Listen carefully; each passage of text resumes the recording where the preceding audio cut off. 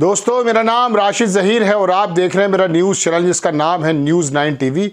Hezbollah की तरफ़ से इस कदर हमले बढ़ गए हैं कि अब इसराइल की सेना को, इसराइल की हेल्थ मिनिस्ट्री को ये बताना पड़ गया है कि कितने सैनिक उनके इंजर्ड हैं या मर चुके हैं। मैं आपको दुनिया के किसी और मीडिया की बात नहीं कहूँगा, मैं आपको इसराइल की तरफ़ से जारी आंकड़े की बात बताऊँगा। क्योंकि हो यूँ रहा है कि आपके सामने सिर्फ़ व्यूज़ को बटोरने के लिए लोग तरह तरह की जज्बाती बातें कर रहे हैं। चलिए, मैं अपनी खबरें शुरुआत करता हूँ इस चीज़ से। आपकी स्क्रीन पर खबर है, और ये खबर जो है, ये अलमायादीन इंग्लिश है, बहुत बड़ा मीडिया संस्थान है। इसराइल ने इसको कल ही बैन किया है, वो भी मैं आपको तारीख बता रहा हूँ।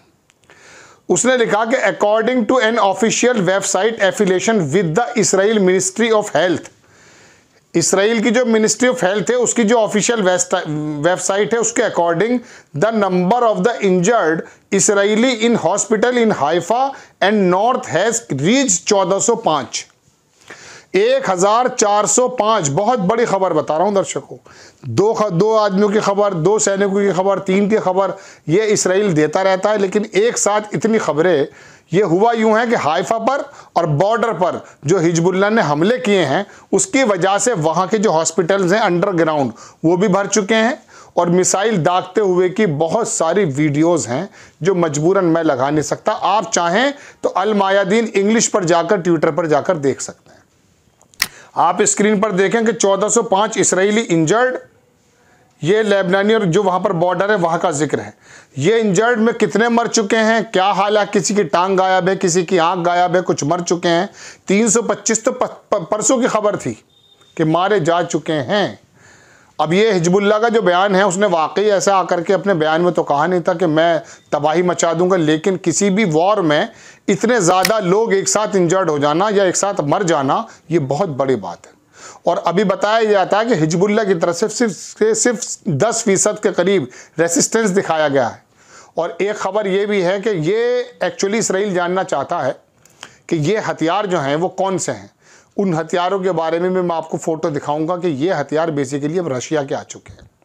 और एक खबर इसके साथ साथ मैं और बता देता हूँ कि बेसिकली हिजबुल्ला ने अपने बॉर्डर्स पर जितने भी सर्विलांस और कैमरे लगे थे, उनको तबाह कर दिया है। और एक खबर के मुताबिक तो एक चौकी पर कब्जा भी कर चुका है। यह आपको खबरें बड़ी अटपटी लग रही होंगी, लेकिन हिजबुल्ला की ताकत है। वो जो इनके इंजर्ड लोग हैं अब इंजर्ड इसमें ऐसा नहीं होता कि किसी के खराश लग जाए। बड़ा तेज़ इंजर्ड मतलब ज़ख्मी होता है तो कोई ना कोई ऐसी डिसेबिलिटी हो जाती है कि हाथ चला गया, पाँव चला गया, आँख चले गई, सर चला गया। इसके अंदर लिखा हुआ तो एक्चुअली ये हिब्रो में है जू मेडिकल सेंटर इसमें 717 लोग हैं। जिली मेडिकल सेंटर इसमें पाँच सौ उनतीस लोग हैं। Rambam health care campus इसमें इक्यासी। मैं एक्चुअली प्रोनाउंसिएशन में कुछ दिक्कत कर सकता हूँ, चूँकि ये हिब्रो, यानी कि इसराइल की लैंग्वेज में लिखा गया है। Hillel Yaffe medical centre centre में 43 और हाइफा के अंदर है ये कंडीशन दूसरी जगह देख लीजिए कैरमेल मेडिकल सेंटर 16 भर्ती हैं इसके अंदर और हैमेक मेडिकल में 9 और 8 और बार दो। ये तब, तमाम तस्वीरें मैं आपको दिखा दी। अब मैं आपको सिलसिलेवार कुछ खबरें दिखा देता हूँ। एक वीडियो जारी किया गया है military media of the Islamic resistance जो भी एक संगठन है, उनके माध्यम से हिजबुल्ला ने पब्लिश किया है और वो जगह दिखाई है। मैं आपको सिर्फ़ फ़ोटो दिखा सकता हूँ। आपको वीडियो देखने का अगर शौक है तो प्लीज़ आप चले जाइए, जो मैंने आपको लिंक दिया है। Video depicting the targeting of Israel soldiers grouping Netua settlement in occupied northern with an A T G M, achieving direct hit ये ए टी जी एम जो है ना, ये रशिया की ही कोई आर्टली है। आगे देखेंगे दर्शकों, मैं आपको खबर धीरे धीरे दिखाता हूँ। अब मैं, ये तो मैंने आपको बताई, यहाँ से खबर। अब कुछ चीज़ें ऐसी हैं जो मैंने लिख रखी हैं, वो सिलसिलेवार में आपको दिखा देता हूँ। हिजबुल्ला ने जो हमला किया है, वो गोलान हाइट्स हैं बेसिकली ये सीरिया के पहाड़ी इलाका है। अगर आपको मैं मैप दिखा पाऊँ तो ऊपर वहाँ पर कब्ज़ा आधे से ज़्यादा में तो एक्चुअली इसराइल का है, लेकिन यहाँ ईरान के भी वो सोल्जर्स आए हुए हैं। और वहाँ पर हिजबुल्ला के लोग हैं। तो वहाँ से ये गोलान हाइट्स पर जो है, वहाँ हमला हो रहा है। आपस में घमासान का युद्ध है और वहाँ पर कब्ज़ा करने की बात की जा रही है। इसराइल के जो सैनिक हैं, वो मारे गए हाइफा पर भी और कुछ पर कब्ज़ा करने की खबर है।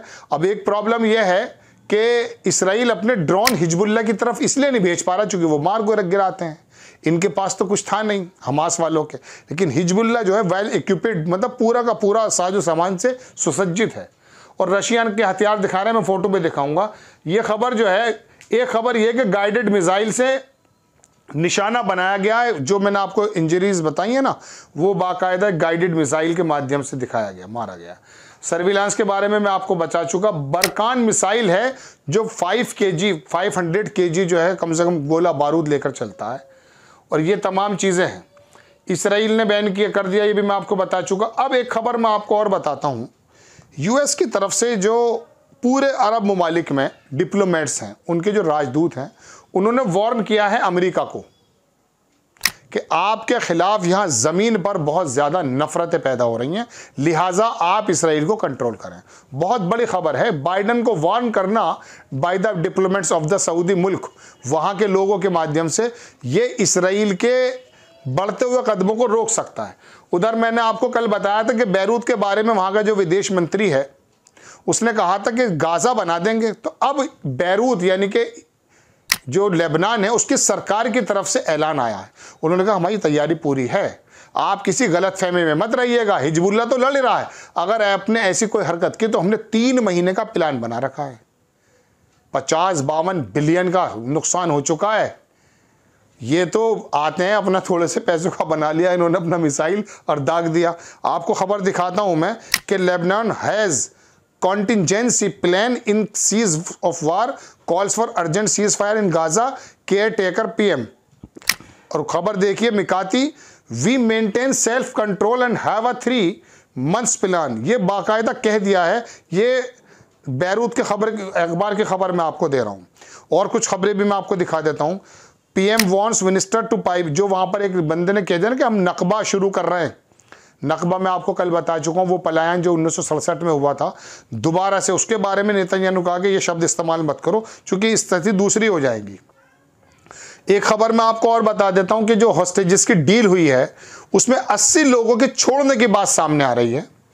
जो मुसाद के ज़रिए और कतर के ज़रिए जो डील हुई थी, उसमें 80 लोग वो छोड़े जाएँगे, जो महिलाएँ और बच्चे हैं। उसके एवज में, उसके एवज में, मुझे किसी ने बताया कि एवज कहा जाता है, एवज में हुआ यूँ है कि इसराइल तमाम जितने भी टीनेजर्स हैं और महिलाएँ हैं, उनको छोड़ेंगे और बुज़ुर्गों को, सबको छोड़ना पड़ेगा। ये वाली एक डील हुई है। अब आखिरकार ये डील भी हो जाना एक बड़ी बात है। और कुछ खबरें हैं दर्शकों, मैं आपको बताऊँगा, हमास की तरफ़ से भी कुछ खबरें हैं। एक खबर मैं दिखा देता हूँ, मिडिल ईस्ट ऑब्जर्वर ने छापा कि huge rockets cell was fired from Gaza towards Tel Aviv Tel Aviv की वीडियोस फ़ोटो में लगा दूँगा। तेल अवीब की वीडियोस जो हैं, जो मिसाइल मारे गए हैं, वहाँ नुकसान की खबरें तो वो आने नहीं दे रहा है। लेकिन लगातार अब हमास की तरफ़ से भी हमले हो रहे हैं। एक तस्वीर देख लीजिए, ये बेसिकली तेल अवीब की जगह है, कोई पेथा तिकवा। वहाँ पर ये मिज़ाइल मारे जा रहे हैं, किसी ने फ़ोटो बनाया हुआ, ये बिल्डिंग्स हैं बराबर में। तो ये दर्शकों, खबर है। एक खबर मैं आपको और दिखा देता हूँ, ये भी मिडिल ईस्ट ऑब्जर्वर की है इम्पैक्ट रिपोर्ट्स अब missile fell directly on a house in Ashkelon Ashkelon एक शहर है। इसराइल का वहाँ पर भी मिसाइल मारा गया है। चार rockets falling in different parts of the Tel Aviv Tel Aviv के चार अलग अलग जगहों पर मारे गए रॉकेट्स। इसकी तस्वीरें भी मैं आपको लगा देता हूँ। और एक जो मिसाइल है, वो बेसिकली रामलला राम रामला में रामलला जो उसकी फ़लस्तीन की राजधानी कही जाती है, वहाँ गिर गया। चलिए, एक बात और बताओ Middle East Middle East Observer ने लिखा था गैलेंट वो जो उसका विदेश मंत्री बोल रहा था, उन्होंने कहा कि उसने अभी कहा है कि lost control the battle and the completely lost control in Gaza Hamas जो है, पूरा कंट्रोल खो चुका है गाजा में, लेकिन हुआ यूँ है कि आठ पंद्रह पे खबर आई कि huge missile also salvo from Gaza towards greater Tel Aviv and central cities जो तेल अवीव के सेंट्रल सिटीज़ हैं उन पर। अभी वो अपना बयान दे के निपटा ही था कि गाजा पे टेक ओवर कर लिया है, लेकिन वहाँ पर हमास के लड़ाकों ने ये काम कर दिखाया। बहुत सारी खबरें हैं। एक जगह बताना बड़ा मुश्किल बन जाता है। मैं एक्चुअली स्क्रीन स्क्रीन से ले लेता हूँ, जब खबर देखता हूँ। वो ये देख लीजिए, ये वो जो गोलाबारी है तेल अवीब में पैथा तिकवा में, वो आपकी स्क्रीन पर लगा दिया है मैंने। और दर्शकों, मैं आपको कितनी खबर बताऊँ। बहरहाल, खबर यह है कि बहुत सारी वीडियोस ऐसी भी आ चुकी हैं, जो मैं आपको तस्वीर लगा देता हूँ कि ऐसी बहादरी आज कहाँ मिलती है। कोई फ़लस्तीन उर्दू का एक वो है, अदारा, वो बता रहा है। गज़ा के मजामत कार बेदा बहादुरी की नई दास्तान रकम कर रहे हैं। ये एक्चुअली टैंक में कुछ गोला बारूद रखकर आया है। भागा पूरा वीडियो है। पैलेस्टाइन उर्दू के ट्विटर हैंडल पर जाइएगा और देखिएगा। फिर ये उड़ गया है। ऐसी बहुत सारी वीडियो हमास ने भी और हिजबुल्ला ने भी एक्चुअली पब्लिश कर दी है। ये खाली लड़ाई ज़मीन पर नहीं है। अब की बार जो लड़ाई है ना, वो डिजिटल वाली भी है। वहाँ के अखबारों को, वहाँ के टीवी को तो एक्चुअली मगरबी मीडिया ने बैन कर दिया है। लेकिन ये लोग जो अब रेसिस्टेंस कर रहे हैं, अपना जो जवाब दे रहे हैं, उसके बारे में ये अल जज़ीरा लेबनान के टीवी और इनके जो वीडियोस हैं, वो बड़ा तेज़। और हैरत की बात यह कि ये लोग ये कह रहे हैं जो इसराइली इंटेलिजेंस के लोग हैं, कि हमें हैरत इस बात की हो रही है कि इनके पास इंटरनेट कहाँ से आ गया? हैरत तो इस बात पे होनी चाहिए ना कि जिस जगह आप आते हैं, हॉस्पिटल के आसपास ज़मीन से निकल कर आके वो टैंक उड़ा देता है। तस्वीर देख लीजिए two minutes after the occupation war minister said वही वाली बात जो मैंने कही, दो मिनट बाद ही हमाज हैज़ कंट्रोल ने हमास ने कंट्रोल खो दिया है। Al Qassam bomb Tel Aviv and target in Israel and alarm bell sounded in scores ये पूरी वीडियो है। विजार्ड करके कोई वो था, मैंने दिखाया आपको। दर्शकों बहुत सारी खबरें थी, लेकिन खबर फ़िलहाल तो यह है कि हिजबुल्ला की तरफ़ से बहुत ज़बरदस्त तरीके के जवाब दिए जा रहे हैं और दुनिया की बहुत सारी और भी खबरें मैं आपको क्या क्या बताऊँ the losses of Israeli soldier in northern Israel and Gaza strip and growing every day ये तमाम जो तस्वीरें मैं आपको दिखा रहा हूँ ना, ये उनके रेसिस्टेंस की है। तो दर्शकों, हिजबुल्ला की तरफ़ से, हमास की तरफ़ से अब हमले होने शुरू हो चुके हैं। अमेरिका की तरफ़ से भी एक खबर मैं आपको शाम को और बताऊँगा कि किस तरह से इंग्लैंड के अंदर जो वो होम सेक्रेटरी थी, उसको हटा दिया गया, चूँकि वो बेसिकली पैलेस्टाइन के ख़िलाफ़ बोल रही थी और वहाँ डेविड कैमरून जो पुराने पीएम रहे हैं और नेतन याऊ के ख़िलाफ़ वो बंदा है, उसको जो है फायस कर दिया है ऋषि सुनक ने और कह दिया कि विदेश जो हेल्थ वो जो तुम्हारा सेक्रेटरी बनना है तुम्हें, विदेश मंत्री जो बनना है, वो आपको बनना है। तो बहरहाल बड़ी और ख़बरें हैं, मैं आपको कई सारी खबरें लेकर आऊँगा। इसमें वक्त सबसे बड़ी खबर यह है कि उसने जुल्म सितम की अगर हद बच्चों पर, महिलाओं पर कर रखी है तो हमास और हिजबुल्ला के लड़ाके भी अब उसको बताने पर आ गए कि उनके पास कितनी ताकत है। आपको खबर कैसी लगी अपनी राय कमेंट्स बॉक्स में ज़रूर दीजिए, चैनल को सब्सक्राइब कीजिए, शेयर कीजिए। नेक्स्ट टाइम मैं किसी खबर के साथ आता हूँ। जय हिंद।